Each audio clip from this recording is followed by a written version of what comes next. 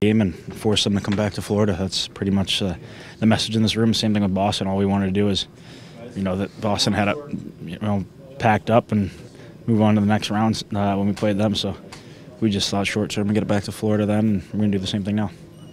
In that third period, just obviously, how frustrating was it, first of all, to be on the bench and whatever happened that you weren't able to come back? Yeah, obviously I want to be out there playing, but uh, yeah, just was able to go out there at the end and and uh, yeah, try to make some magic happen late, but uh, yeah, ran out of time. Was it a pain tolerance thing, or like what, what kept you from going out there for?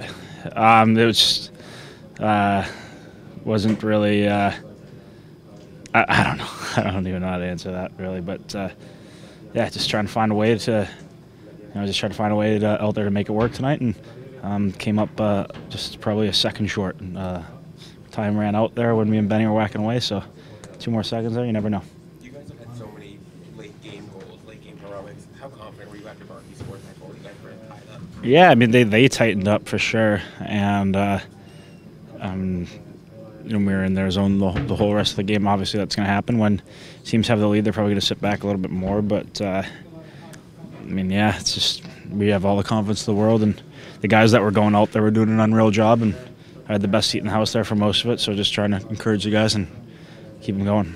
Do you think with three days of rest, you might be able to play more minutes in Game Five? Yeah, I mean, I don't, I don't, I don't know what, uh, I don't know what uh, is going to come from from uh, from this, but yeah, just, I mean, we're we're excited that we have an opportunity that we're comfortable in, you know, like we had in the Boston series. So you never know. Matthew, was it something you dealt, dealt with tonight, or is it related to the hit in Game Three? Uh, it's that's just not going to come out right now. What's it going to take for you to sit out again? Um, uh, I mean, I don't, I don't know. It's a tough question. Uh, um, probably, I, I don't even know how to. I don't really want to talk about that right now, guys. What was it that about this team that allowed you to come back in the Boston series, and therefore, what would could allow you to come back in this series? It was just like a really short-term mindset. Uh, go in there, get the first goal in Boston.